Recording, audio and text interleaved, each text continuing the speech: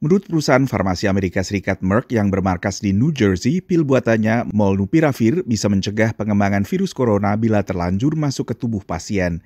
Bila ditelan pada awal infeksi, risiko kematian atau perawatan di rumah sakit berkurang hingga 50 persen. Badan Pengawas Obat dan Makanan ASFDA bisa memberi persetujuan penggunaan darurat di Amerika sebelum akhir tahun ini. Tapi untuk negara-negara di luar AS masih perlu waktu dan ini mendapat perhatian Organisasi Kesehatan Dunia WHO. We need to get serious about the, that this is a worldwide problem that needs worldwide solutions. So I think even if you say uh, no one is safe if everyone is not safe, I mean it's so true. Pemerintah AS telah membeli cukup pil buatan Merck ini untuk perawatan 1,2 miliar kali. Sementara Yayasan Bill and Melinda Gates menyumbang 120 juta dolar untuk menyediakan pil yang sama untuk negara-negara berkembang. Begitu disetujui, obat buatan Merck ini bakal menyederhanakan pengobatan bagi mereka yang ternyata positif mengidap COVID. Mereka bisa mendapatkannya di apotik terdekat yang umumnya juga menawarkan pengiriman.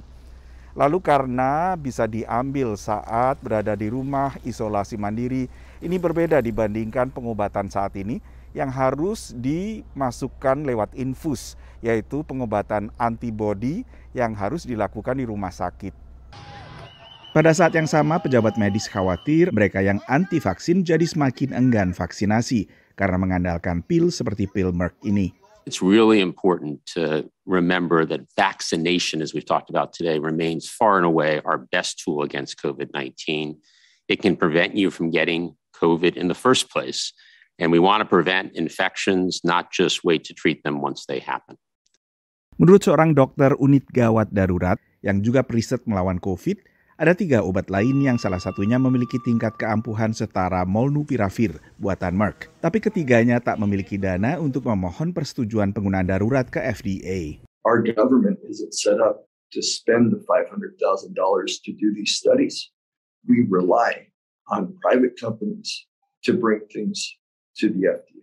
And that's why you're, you're not going to see as much innovation as you could see. Inggris dan Australia termasuk negara yang juga telah memesan pil antiviral buatan Merck dengan target mulai digunakan pada 2022. Sementara untuk negara-negara berkembang dikhawatirkan penggunaan pil semacam ini perlu waktu lebih lama.